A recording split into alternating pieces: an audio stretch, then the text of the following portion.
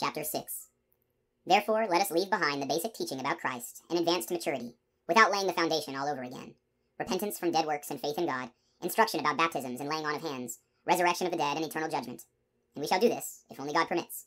For it is impossible in the case of those who have once been enlightened and tasted the heavenly gift, and shared in the Holy Spirit, and tasted the good word of God and the powers of the age to come, and then have fallen away to bring them to repentance again, since they are re-crucifying the Son of God for themselves and holding him up to contempt.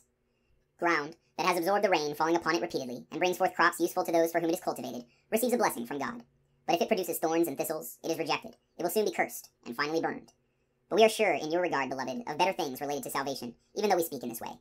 For God is not unjust so as to overlook your work and the love you have demonstrated for his name by having served and continuing to serve the holy ones. We earnestly desire each of you to demonstrate the same eagerness for the fulfillment of hope until the end, so that you may not become sluggish, but imitators of those who, through faith and patience, are inheriting the promises. When God made the promise to Abraham, since he had no one greater by whom to swear, he swore by himself, and said, I will indeed bless you and multiply you. And so, after patient waiting, he obtained the promise. Human beings swear by someone greater than themselves. For them, an oath serves as a guarantee and puts an end to all argument.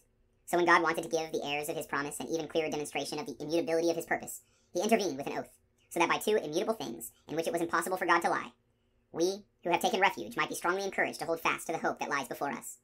This we have as an anchor of the soul, sure and firm, which reaches into the interior behind the veil, where Jesus has entered on our behalf as forerunner, becoming high priest forever, according to the order of Melchizedek.